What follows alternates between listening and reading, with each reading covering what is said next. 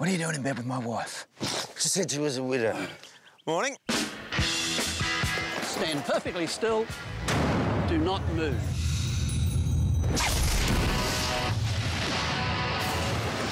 Well, we better not waste any time. Oh, please. Now take your pants off.